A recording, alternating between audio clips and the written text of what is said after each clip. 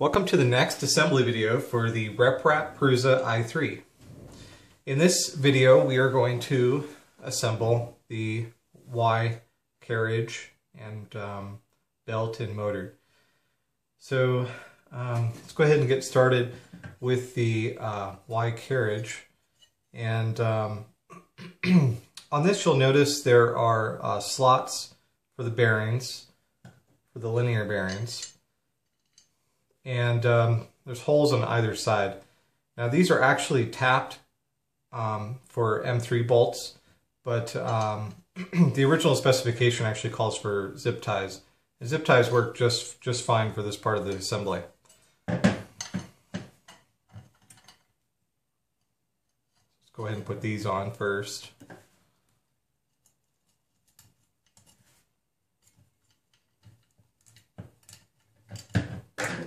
want to use a pair of pliers to tighten it. As long as it doesn't wiggle, that's tight enough. You don't want to over tighten it.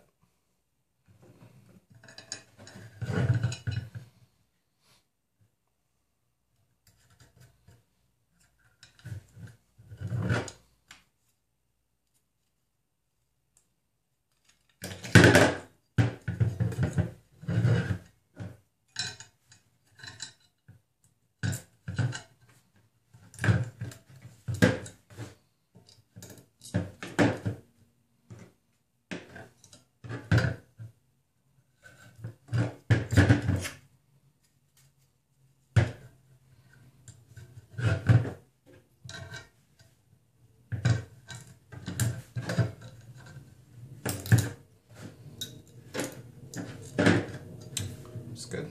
Then you can clip off the excess zip tie.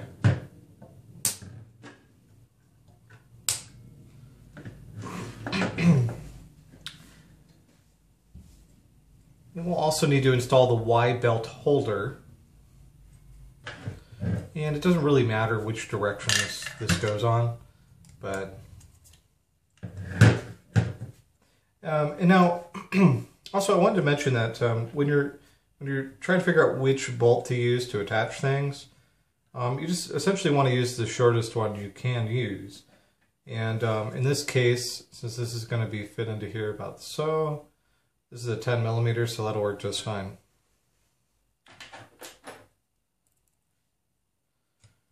So it's a 10 millimeter M3. Oh, and then also keep in mind, you know, all of the holes on the aluminum plates for the frame and for the Y carriage are M3.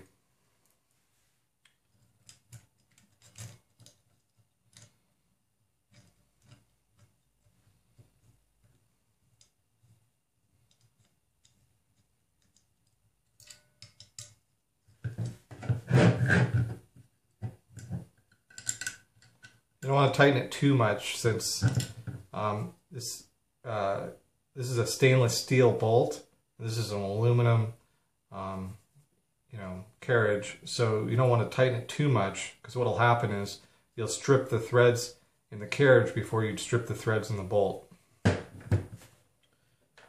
Since stainless steel is harder than aluminum. Okay, that takes care of that part. Um, let me go ahead and set this aside for a moment. And work on, um, on this part here. this is the idler for the uh, Y belt. Um, and um, to install this, we'll need to, uh, we'll need, we'll need, let's see, I think it's, yeah, we'll need the uh, 25 millimeter M4 bolt. And then um, the uh, M4 fender washers and some M4 washers and the, um, the smaller bearing as well. So you start uh, putting the bolt into the idler piece, and then you want to put a uh, small washer, M4 washer, flat washer, and uh, you can use pliers to do this.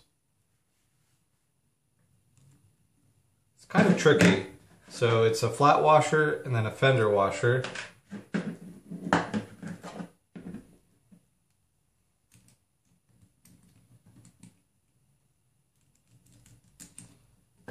And then another flat washer.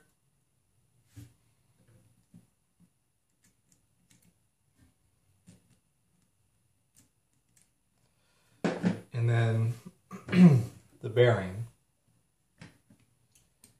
This is a 624ZZ bearing.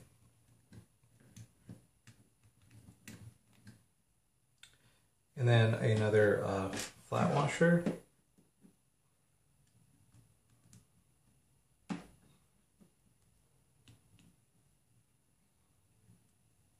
This is where it really starts to get tricky.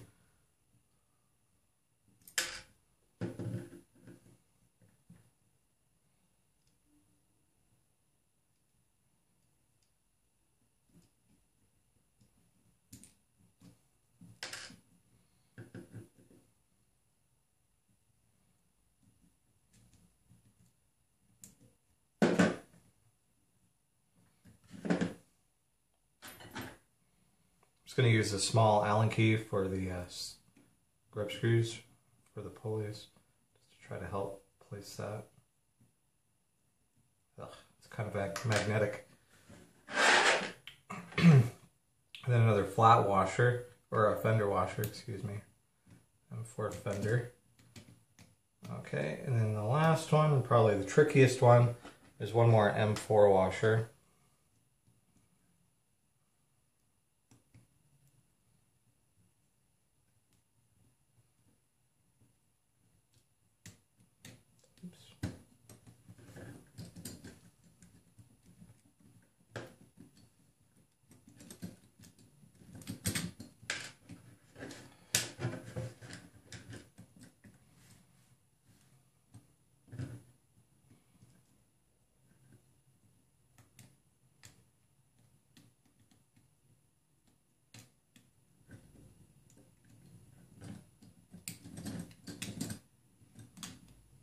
okay, there, there you have it. Okay, and lock this in with an M4 lock nut. M4s um, use the seven millimeter. And then also, if you don't have open box end wrenches, you could also use crescent wrenches, by the way.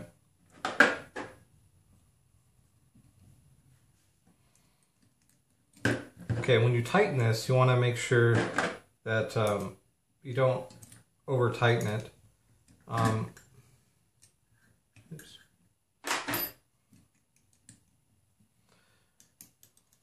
This just needs to actually hold this on. Um, doesn't need to like be compressed. But you can compress it just so that these fender uh, washers don't wobble, but where the uh, bearing still rolls smoothly. So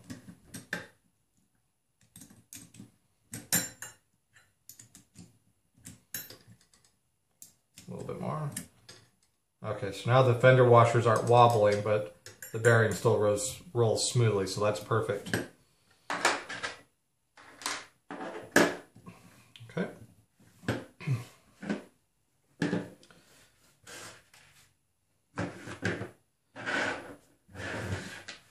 And um, the 20 millimeter M4 will go in the end here. You can go ahead and get that threaded now if you want to a little bit. Don't, uh, don't tighten it yet. Don't tighten this yet either. Okay, so now we are ready to uh, put the Y carriage on.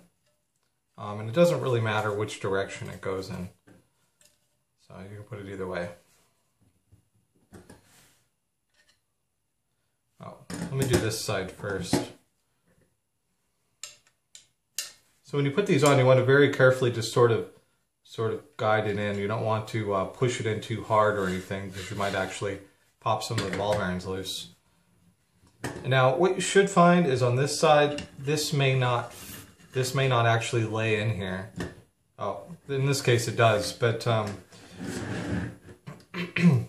what you have to do next is you have to um, tighten and adjust the M8 nuts here and here and here and here to make sure that this rolls smoothly. And then you can go ahead and lock these down into place. So this actually feels pretty good. So I'm just gonna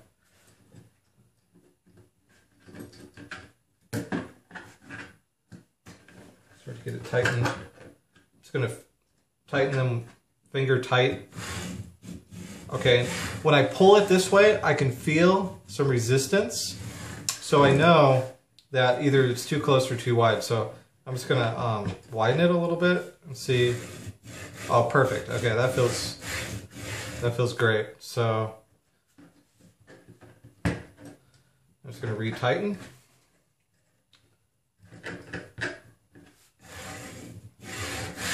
Oh yeah, that feels great. Okay, so I'm just gonna go ahead and lock this down then.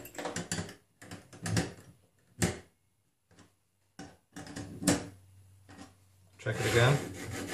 Feels good. lock down the bottom.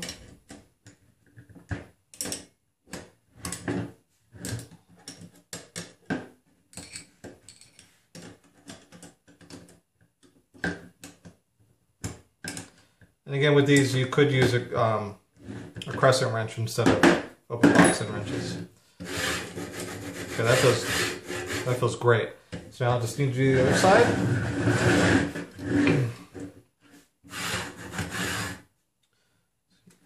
Put it on finger tight, finger pressure tight. That feels really good. I'm just going to lock it down. Now, if you don't like this particular method, you can you can do this another way if you'd like to. Like you can measure it out perfectly with a, uh, a digital caliper between the rods on both ends, which will work too. But um, I did this for my last i3 build and I just thought it was really easy. And uh, I printed a few parts with it and everything turns out just fine, so I don't think that there's really an issue with with this being perfect. That feels great to me, so I consider that to be good enough. Now you do have to be careful when um, when you uh, turn this upside down because these rods can fall out. Um, but uh, we are going to need to turn this upside down now to finish the process. So.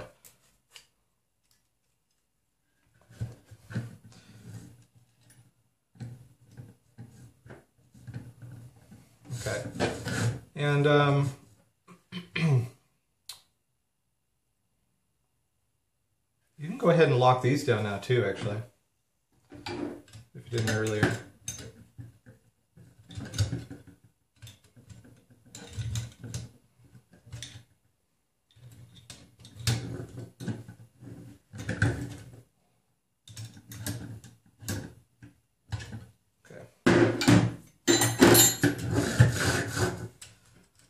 Okay. Next, uh, we can install the motor. And uh, the motor will... Now, when you look at the at the motor mount, you'll see that um, there's uh, that it's inlaid a little bit for the head of the bolt on this side. And it's just flat on this side, so um, the motor goes on the flat side. Want to make sure that the wire that's coming out is going um, towards the uh, front of the RepRap, not towards the bottom because that um, it might uh, squish the wires. And uh, for this, it's going to be uh, 10 millimeter M3s. And again, I mean, this is going to come through about that far. And so it leaves enough to go into the, uh, into the motor, so it's not too much. And you might need to adjust this uh, this direction or this direction to make sure you have enough room for the motor to fit in here. But you want to fit it just so that the um, the shaft on the motor is about center with the um, with the frame, so that uh, the belt will be able to travel through the belt holder here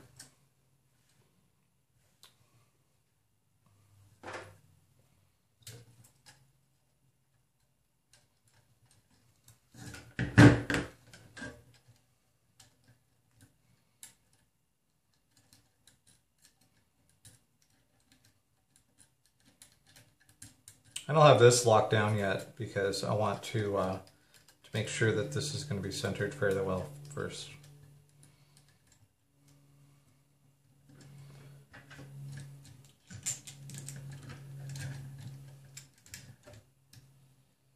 Now I didn't tighten I didn't tighten this uh, top one all the way because I want to get the bottom one uh, started first.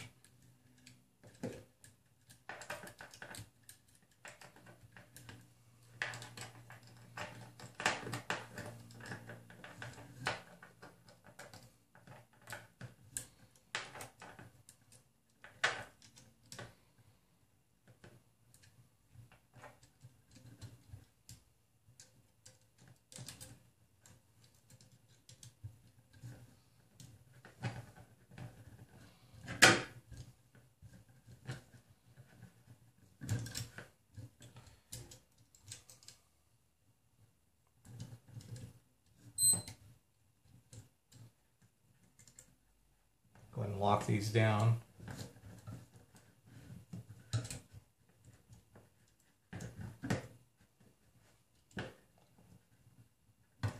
Okay. and just sort of eyeball it and make sure that the center of the shaft um, is going down through the, uh, the belt clamp. And that looks um, pretty good. Let's go ahead and tighten this down. And when you tighten the uh, the top the top section, just make sure that it's kind of level, and you just kind of eyeball that. You can measure it if you want to too, but eyeballing it works just fine. It looks pretty good, and it looks real straight. You can kind of look down the shaft and see if it's aligned with with the uh, threaded here, and it looks really really good. So definitely adequate. Okay, now we need to put the pulley on the motor. I like to move it so the shaft is, is upright, or the flat side of the shaft is upright. And you want to make sure that um, when you put the uh, when you put the pulley on, that one of the two grub bolts um, will actually lock down to the flat side of the shaft on the motor.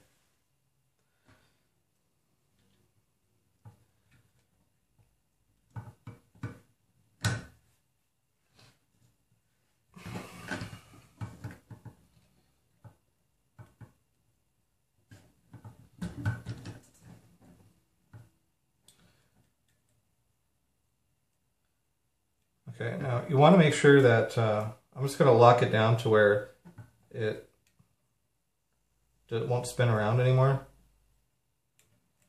But, uh, I mean, um, because it, it gets caught on the flat side of the shaft, but it can still slide on the shaft. And then, because we need to make sure that this lines up with the belt clamps. So you just need to use something straight, just sort of eyeball this. So I'm going to line this up. Um, you could use a ruler or something too. This is just one of the smooth rods for later in the assembly. But um, I have it centered on the um, on the belt clamp and the belt holder, the Y belt holder. And then I'm just looking down and I can see that the pulley needs to move to the right a little bit. And now I can go ahead and tighten it. Try not to let it move around too much.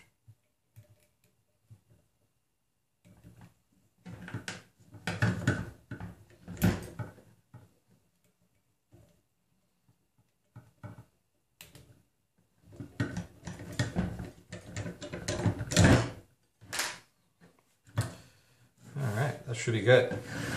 Now we're ready for the belt.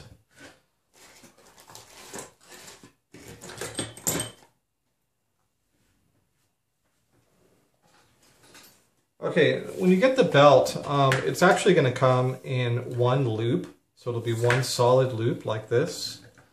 And this is actually enough belt for, um, for the y-axis and the x-axis. So what you need to do is just cut it so that it becomes one long piece.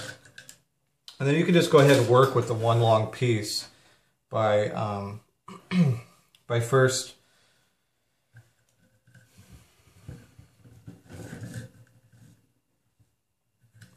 Okay, just making sure that, by first uh, locking in one of these sides, you can kind of just bend it a little bit like this. And then when you when you put it into the slot here, it'll curl up a little bit might need to roll it into a little bit of a ball. And then when you put it in, it should roll up enough to where it feeds upwards. And then you're going to want to use, um, just roll it over to the side like so. And then um, you want the belt to be flat down to uh, this side here. So you want to um, position it so that uh, you have more of the belt from the end coming down than you have from the belt on the bottom going up. So you just want to make sure that it's kind of flat. And then um, you can kind of lock the teeth in together, together a little bit and then use a zip tie to secure it that way.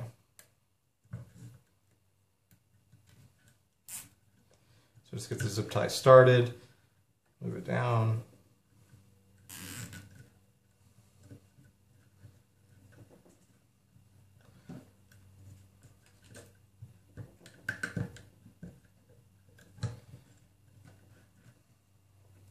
You can tighten it with some pliers and snip off the excess zip tie.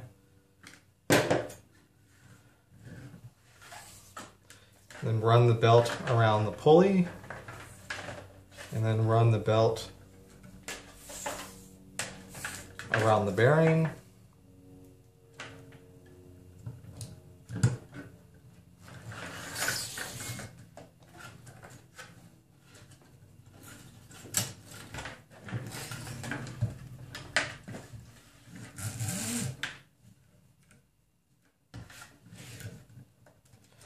and uh, make sure that the um, the belt is on the bearing and not like on one of the fender washers or something like that. Okay, and then do the same thing with this side, sort of make a little um, circle with it, and then stick it in. Oh. Uh, with this one, you actually um, want to go all the way over to this hole here. So they use the same hole. And if um, making the circle doesn't work, you can always just grab it with a pair of pliers and pull it out too.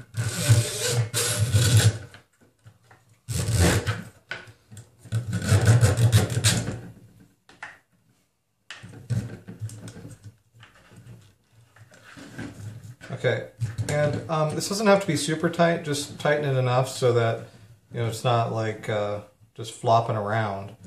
And then um, at this point you know that you don't need more than this, so you can go ahead and cut the belt. And save the rest for the x-axis. And get a zip tie started on here. Just the, you know, just around this area of the belt.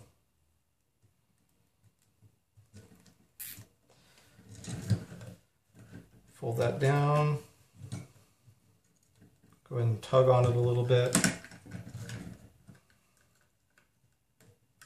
Lock it together and zip tie it. And then use some pliers to tighten the zip tie. Click a couple times there cut off the excess zip tie and uh,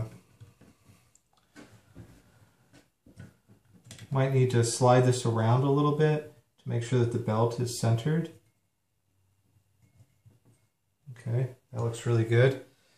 And now we can tighten the belt by using the M4 20 millimeter, uh, 25 millimeter, or yeah, 20 millimeter bolt. So you want to slide this around, slide the idler across the um, M8 threaded rod until until it all looks lined up really well. Just kind of eyeball it. That looks good there. So I'm going to go ahead and um, lock it in a little lightly, finger tight, with the um, M8 nuts, and then go ahead and tighten the M4 bolt to tighten the belt and just you just sort of feel it. Um, you don't want. To you don't want you don't want it to be too tight. You don't want it to be too loose, but that uh, that feels pretty good. So now we can go ahead and lock these uh,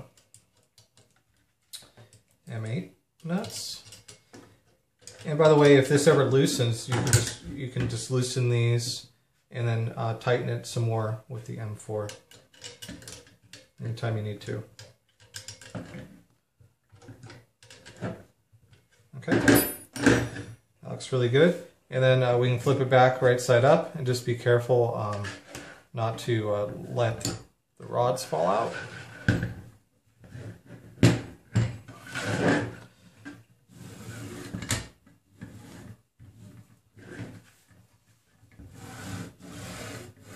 Okay, now it's nice and tight. It's not smooth as it was before because now we have to turn the motor in order to get it to move. But everything here looks like it's lined up really great. And if you move it slowly, you can actually feel each little tug of the steps on the motor. All right, and that takes care of the y-axis. Um, thanks for watching.